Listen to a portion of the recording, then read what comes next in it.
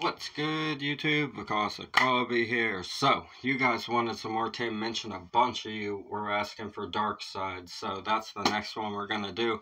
This might be the only video of the night. This performance is 13 minutes long. So, I'm not sure how long this video is going to be, breaking down all the lyrics and everything.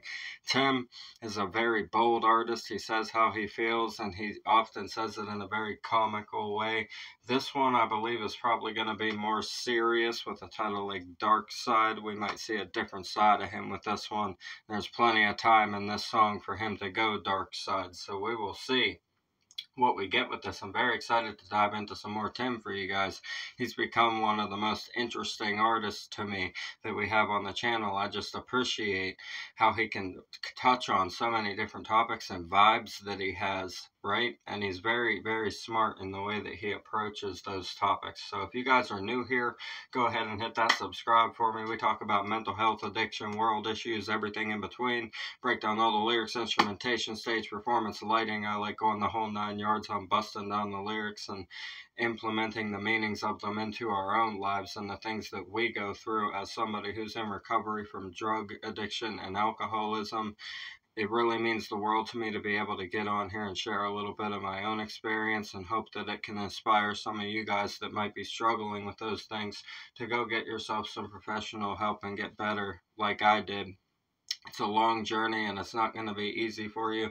It's always difficult when you're pulling yourself out of something like that. Sometimes things fall apart a little bit before they get better, and that's just something you have to go through. You have to bear the weight of it. And if you really hang in there, you can find yourself on the other side of that. And it's a very, very beautiful thing whenever you can then inspire other people and motivate other people to do the same thing for themselves. And that's what it's all about on here when we get on here and talk about these songs. I hope I can inspire some of you guys to go get yourself help as well. It means the world to me when I see people actually reaching out and doing that for themselves because I know exactly how it feels to be stuck in those places. And it's a blessing to be on the other side of them and have an opportunity opportunity to spread the message to other people that they can get through it as well. Thank you guys so much for your support in my recovery. It means the world to me. We're going to get into some Tim for you. I love you guys. I'm Kabi.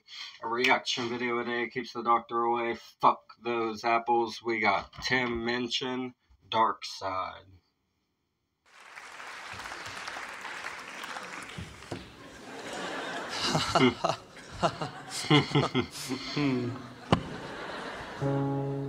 mm. I worry.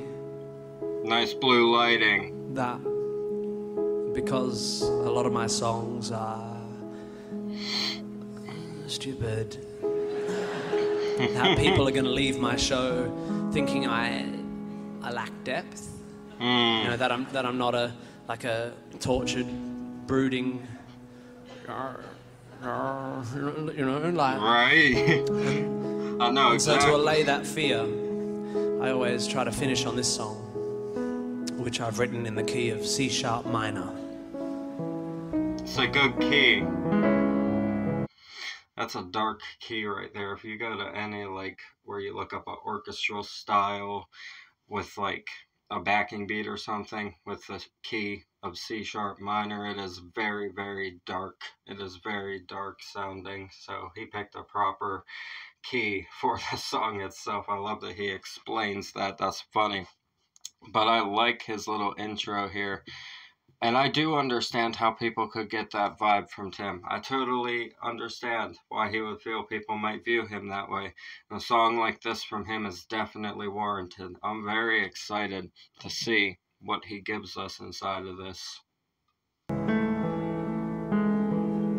Seems to help.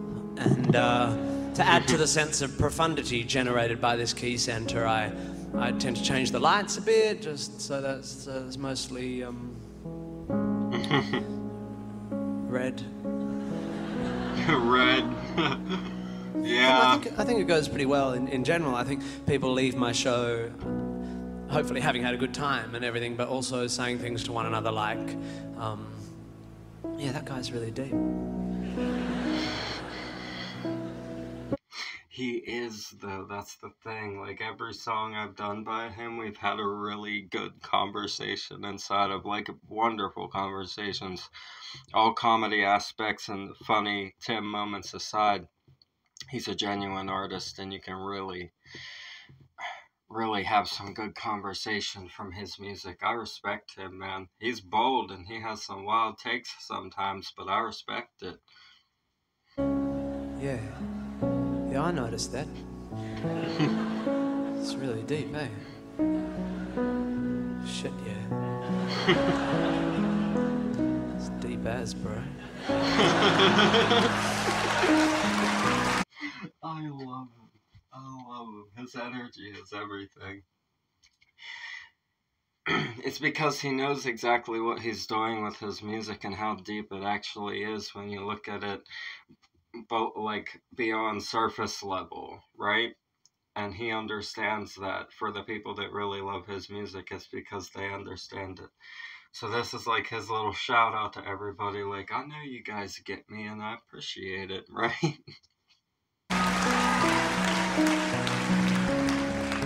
So yeah, um, this is a song called Dark Side. It's a beautiful chord progression. Let's get it.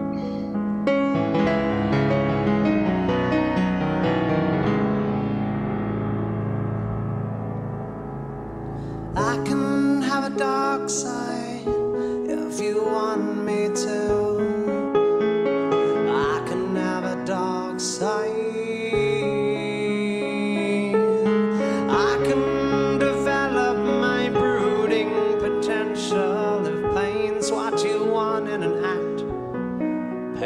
I can do. I can have a dark side too. I can have a dark side too. The way he carries his voice and arranges his cadences.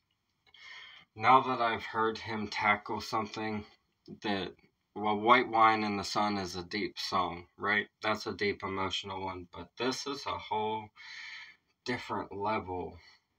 Uh, Well, actually, this was, it actually says this was the prede- predecessor of the uh, White Wine in the Sun instead. So this was his final song before White Wine in the Sun became that song instead. Okay, so this was the predecessor for White Wine in the Sun as his final performance song, and it makes total sense, right? Wow. The way it ties into the time span of everything in his career adds up too as well. That's really cool that it adds up like that.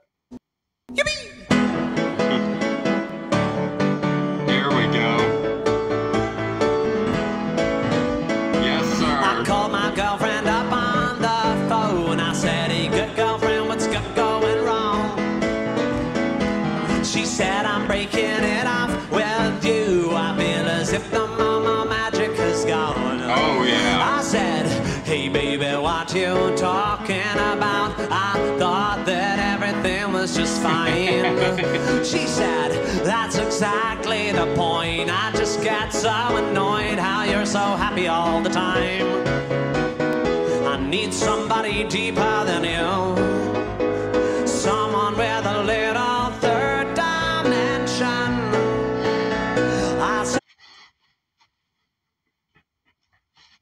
The way he words things is epic. He's so amazing. His storytelling is brilliant.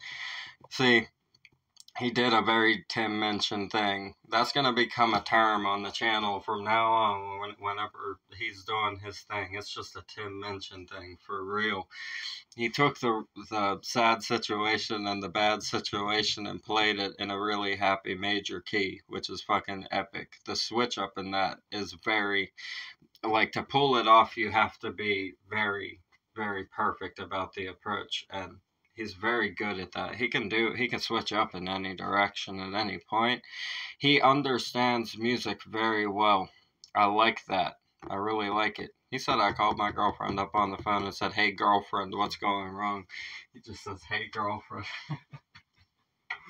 Oh my goodness. Hey, girlfriend, right? she said, I'm breaking it off with you. I feel as if the mama magic is gone. I said, Hey, baby, what are you talking about? Thought that everything was just fine. She said, That's exactly my point. I just get so annoyed how you're so happy all the time. I need somebody deeper than you, someone with a little third dimension.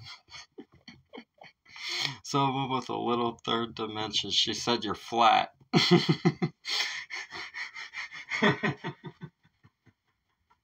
she said flat.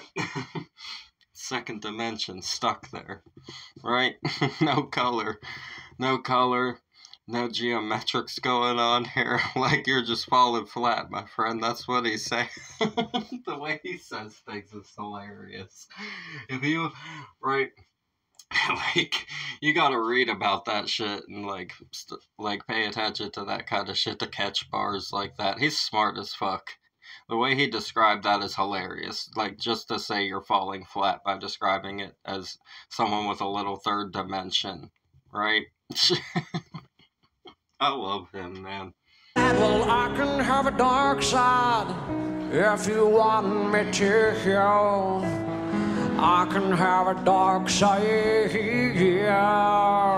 Is he singing like fucking Scott Stapp from Creed? Is is he imitating Creed right now? Like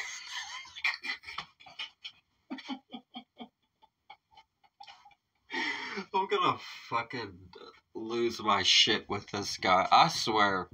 I'm glad that we're actually starting to cover more of his catalog now. You guys wanted me to do it for a long time. This guy is. oh, what do you guys know about Creed? Huh? My god, I can't with this guy, bro. I can have a dark side if you want me to. I can have a dark side.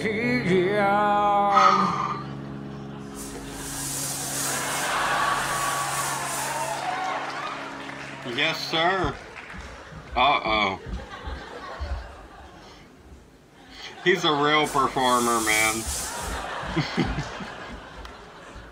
I can develop my brooding potential if pain's what you want in a man. Pain I can do. I can have a dark side too. I can have a dark side. I can have a dark side. I can have a dark side. Ooh, yeah.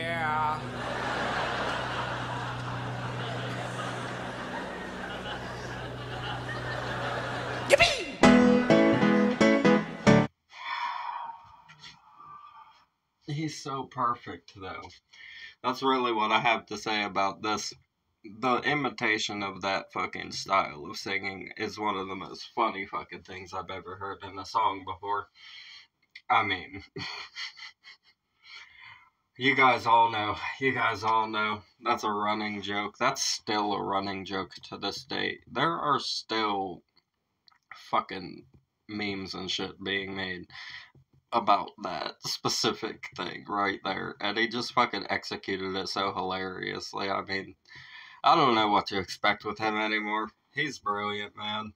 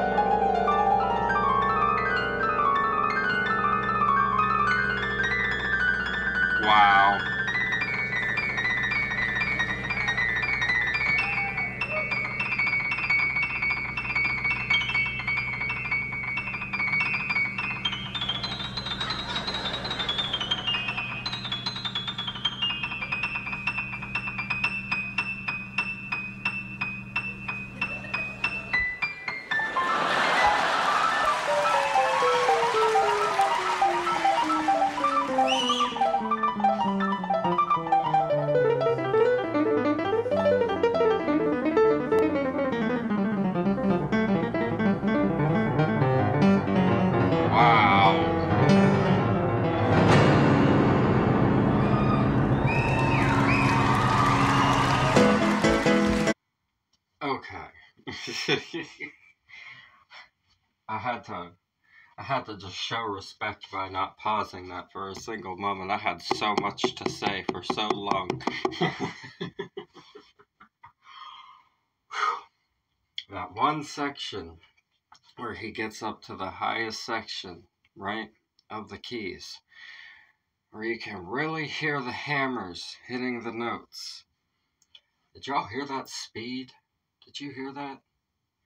It was like fucking rocks popping off in a dish. Like. oh my goodness. He's so talented. I mean, just running through, right? Running up and down like that. It's beautiful. It's wonderful that he like extended that out the way that he did. It added a lot of comedic aspect and like tension relief. Not that this song needed that in the first place because this is hilarious and very well done from a Tim Minchin kind of perspective of like how he writes and everything. It's very well done. But like that extended section in there even makes it more comedic because he's being really sarcastic with his body language the whole way through it. Like, haha, I'm not done yet. Going in to Für Elise, right?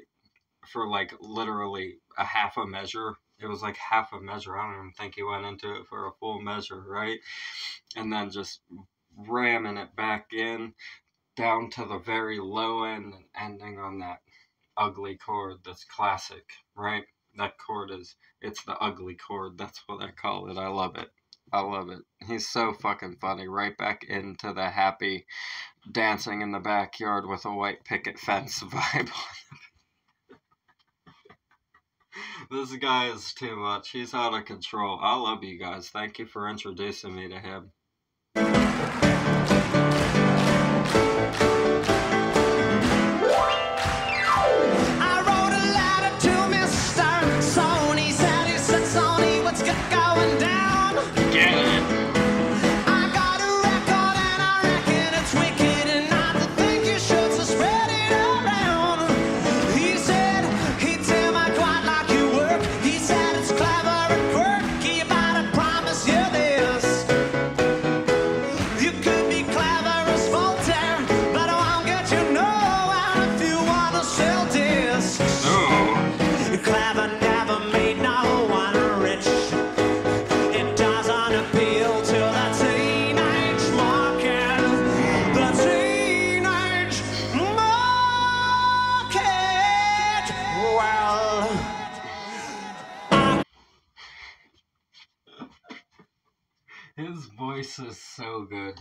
Sing really well. He's a very good vocalist. I love that high note he hit there. I love his approach to this.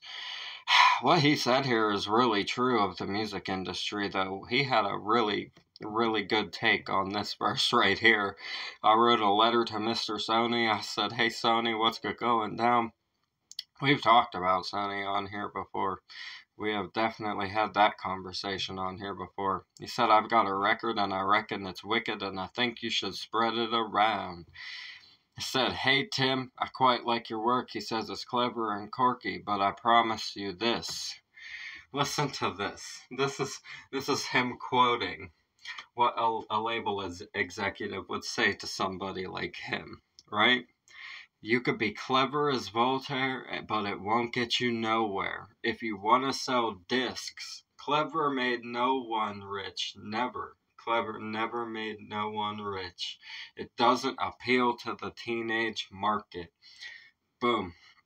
They like to take young, impressionable minds and mold the artist into something that they view as cool, and that bangs the record sales up, especially now that we have cell phones where anyone, any teenage market can just have a job around like say 15 to 17 years old and they can go buy that on iTunes or one of the streaming platforms and it puts money into the label's pocket not necessarily the artist because the artist runs on a contract that has a number attached to it usually and a lot of that comes as like fronts right? Or the label buys them things, buys them things that the label knows they would like and ship, but then they have to make sure that it gets paid back with the sales they're doing. What they try to appeal to is the impressionable minds of the teenage market, and he just quoted the exact thing that a label executive would have to say to someone like him. And see, I have never personally been affiliated with discussing things with a label or anything like that, so I don't know what conversations get had in that. But from every independent perspective I've seen of one of them that has talked to a label, they say basically the same exact thing that Tim just said right there. It's just all about feeding it into minds that are impressionable because the adults can already see through the bullshit as we do on here with the music that we cover, right? We break down the barrier of the industry with the stuff that we cover on here because we really get into the deeper meanings of what music can have inside of life when it's not that force fed garbage that labels make people grow up listening to, and then in turn, a lot of them might do something stupid, become a criminal, get themselves arrested, ruin their life over the impression that music had on their mind, right? Music is very impressionable. You have to be careful what you listen to constantly. It's a very impressionable thing. You have to like even if you listen to that mainstream stuff from time to time when you're just having fun or background noise or whatever, you can't take that shit too much to heart because if you apply it to your life, you can get yourself in a lot of sticky situations. That's what he's talking about there. Tim is a very, very smart guy, the way that he says things. See that conversation we just had there? Off of one verse with not even that many words. He put it very bluntly and very straightforward. We get to have really important conversations like that. And I think it's important that we listen to as much music as possible that has these kind of messages in it because they keep it fucking real. And Tim, really, I mean, Tim's good enough that he don't need anybody's help. This guy's one of the most talented artists that's ever been on the planet. Like he's that level of talented in my opinion. He's his own his own fucking thing. Uh, there is not another artist that does it like Tim does uh, that I've ever seen in my life. He's one of a kind, and that will make him successful forever, right? A dark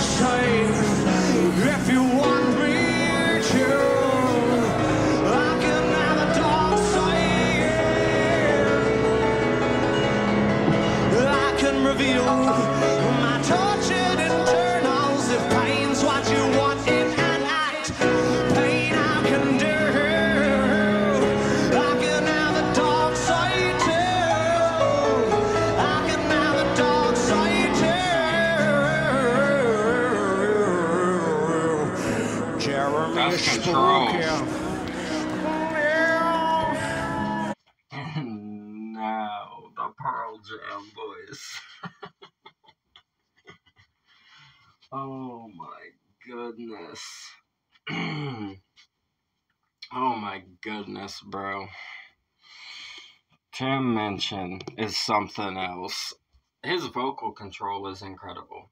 He is very incredible with his vocal control. His breath control is next level. To like have the level of energy and stage performance that he has and to never miss a beat, to sound that good vocally, he practices a lot. He's very, very well done when it comes to his level of practice, right? I like that about him. You can tell that he just he could do this in his sleep, really. He's just quirky like that. He's probably funny like that in person too. I imagine if we watched one of his interviews, we would be laughing quite a bit. And I imagine he's probably pretty humble and serious at the same time in his interviews. I get that vibe from him. He said, I can have a dark side too. I can reveal my tortured internals if pain's what you want. And in an act, pain I can do. I can have a dark side too. And then into the gently spoken though.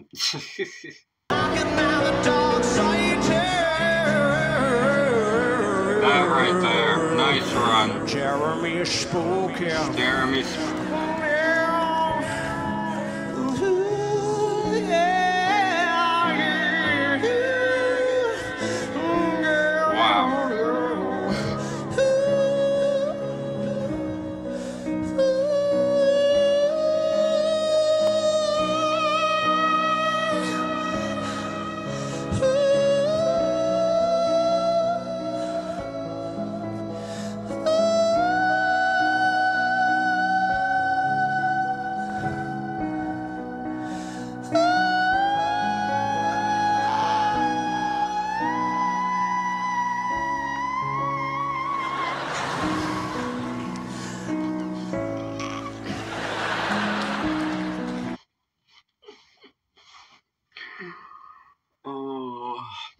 love that he shows you what he's capable of, and he does it in. Oh, he does it in a way that makes you laugh and really appreciate how fun vocalization is, right? How fun music actually is. He takes his talent and shows it to you and displays it to you in a way that's going to relieve stress because it's comedic.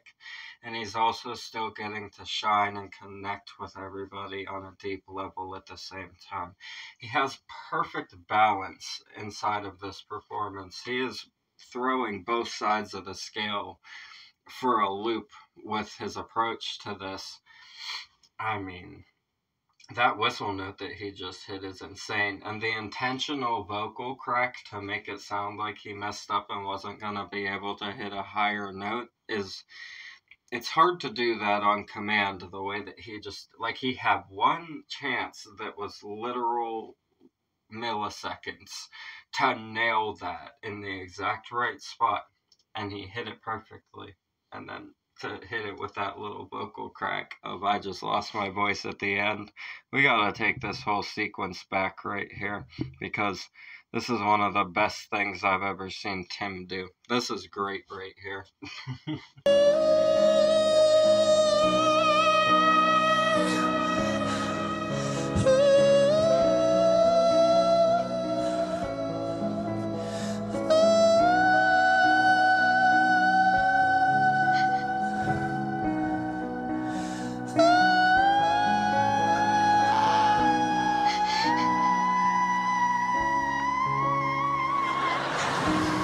Fucking hilarious. The eye twitch. Brilliant.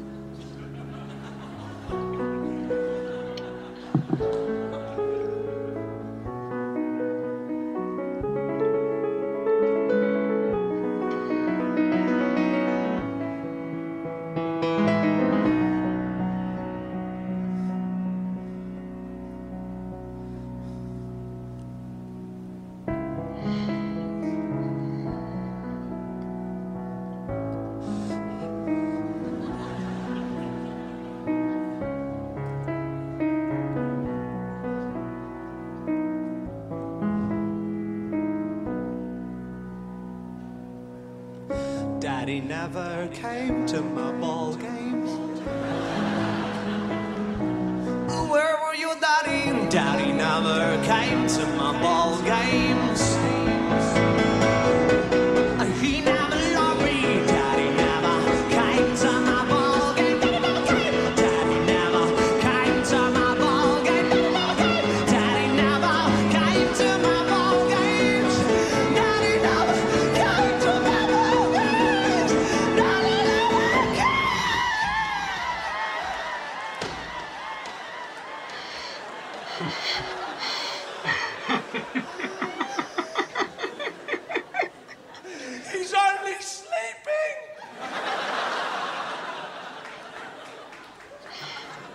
My goodness.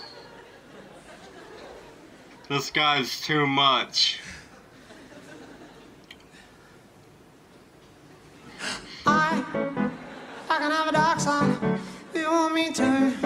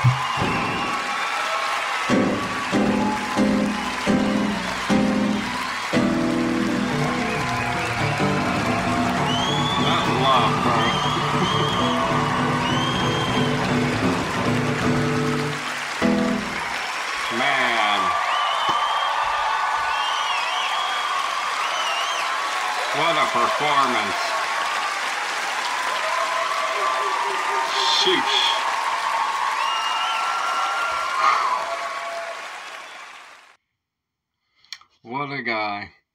What a guy he is.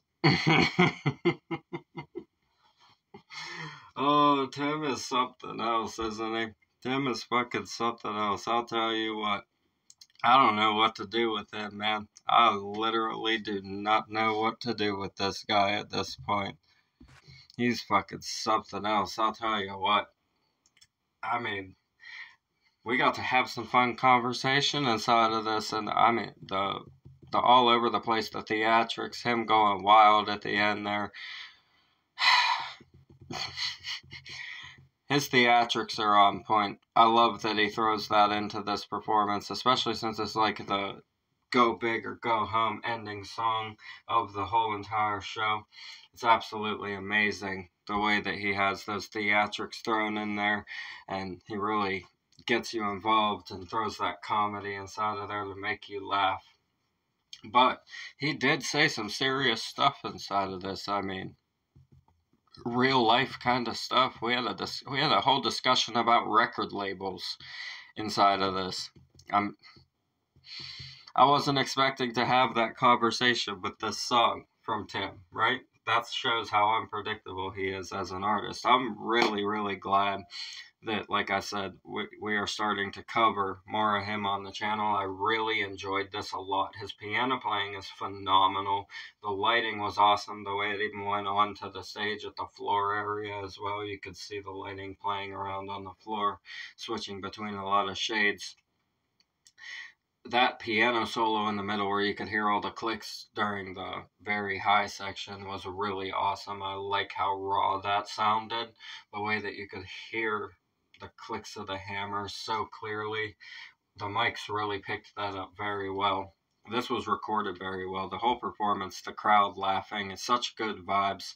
Leave it to Tim, man. I don't expect anything but this from him at this point. Tim is a legend for sure. I can't wait to cover more of his stuff for you guys. Thank you so much for watching. I really hope you enjoyed this. I know I did. The original video will be in the description. As always, subscribe to Tim. Support the artists we have on the channel. That's what we do this for. Get the music out into the world, relate it to our own lives. This was a really fun one to cover, and I'm glad that that we did. Like I always say, if you guys are going through addiction or mental health struggles, please go get professional help. Take the steps to make yourself get better. Work on yourself every day. Improve on different things every day that you know you can improve on. Live your best life. Get out there and inspire other people to do the same thing once you pulled yourself out. That's what it's all about. I love you guys so much. You can do anything. We're going to get out of here. I'm Vakasa Kavi. A reaction video a day keeps the doctor away. Fuck those apples. Leave a like for me, comment those suggestions, subscribe up this way, bang the notification bell for me. I'll see you guys in the next one. So I love you so much. Thank you for everything. Have a blessed night. Peace.